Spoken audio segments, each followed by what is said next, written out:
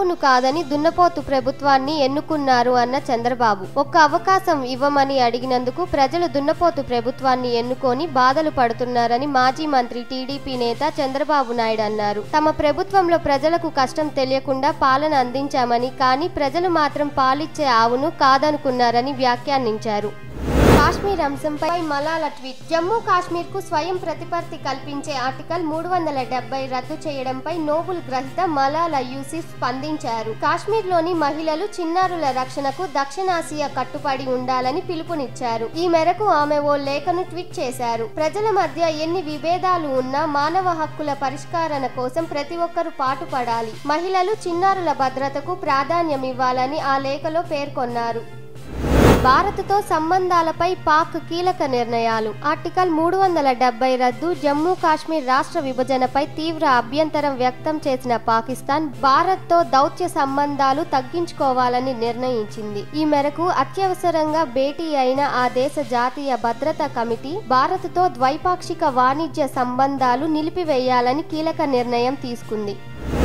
జగన్ ప్రభుత్వంలో పైరవీలకు ఆస్కారం లేదు. జగన్ ప్రభుత్వంలో పైరవీలకు ఆస్కారం లేదని రాష్ట్ర పురపాలక శాఖ మంత్రి బొత్స సత్యనారాయణ అన్నారు. ప్రభుత్వం ప్రతిష్టాత్మకంగా చేపట్టిన నవరత్నాలు కార్యక్రమాలు పలు సంక్షేమ పథకాలను అర్హులైన లబ్ధిదారులు ఇంటికి నేరుగా చేరవేయాలని తద్వారా ప్రజలు ఇంటి వద్దకే పరిపాలన అందించే దిశగా పరిపాలన వ్యవస్థలో రాష్ట్ర ప్రభుత్వం పెద్ద సంస్కరణగా ఆయన అభిప్రాయపడ్డారు.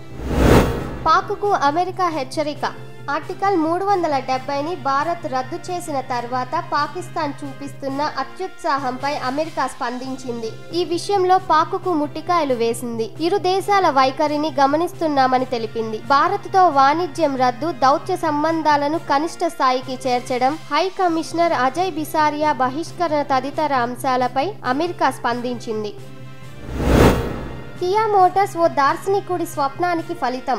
ఆంధ్రప్రదేశ్లో కియా పరిశ్రమ ఏర్పాటు ఓ దార్శనికుడి స్వప్నానికి ఫలితమని తేదేపా జాతీయ ప్రధాన కార్యదర్శి లోకేష్ అన్నారు. కియా మోటార్స్ సంస్థను ఆంధ్రప్రదేశ్లో నెలకొల్పడానికి చంద్రబాబు చేసిన కృషి మాటల్లో చెప్పలేనిదన్నారు. ఇవాళ ఏపీలోని కియా మోటార్ సంస్థ నుంచి కారు విడుదలవుతున్న సందర్భంగా కియా యజమానికి సిబ్బందికి లోకేష్ ట్విట్టర్ ద్వారా శుభాకాంక్షలు తెలిపారు.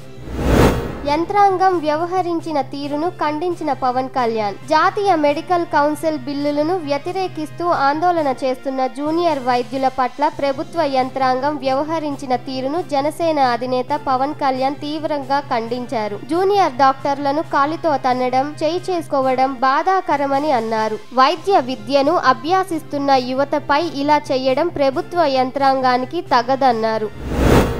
అన్నా క్యాంటీన్ వర్కర్ల ధర్నా గుంటూరు కలెక్టరేట్ వద్ద అన్నా క్యాంటీన్ ఉద్యోగస్తులు తమ పని నుండి తీసివేయొద్దని అన్నా క్యాంటీన్లను పునరుద్ధరించాలని సంవత్సర కాలం పైగా దీన్ని నమ్ముకొని జీవనం కొనసాగిస్తున్నామన్నారు. వీరి ధర్నాకు బీజేపీ సిపిఐ టీడీపీల పార్టీ నాయకులు తెలిపారు. అన్నా క్యాంటీన్లను అందులో పనిచేసే వారిని తొలగిస్తే ఎంతటి పోరాటానికైనా సిద్ధమని వారు హెచ్చరించారు.